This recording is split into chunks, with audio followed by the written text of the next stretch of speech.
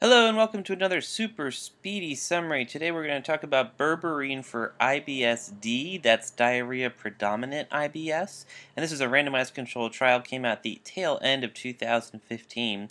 So here's the problem, you know, IBS is, is extremely prevalent, anywhere between 10 and 15% of the population has it, it's very poorly understood, and the meds and treatment options out there for it are not fully sufficient.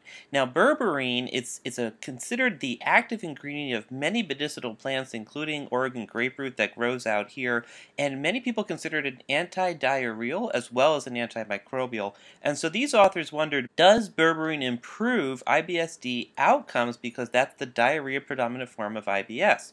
And what they found was yes, it absolutely does. If you dose people at 200 milligrams twice a day, so 400 milligrams total of berberine, it does seem to reduce symptoms of IBS-D in a statistically significant manner when compared to placebo. These changes do seem to be clinically meaningful, although there, I have some issues with the paper which we'll talk about in our more basic, in-depth, and master level videos on this and other topics. Enjoy.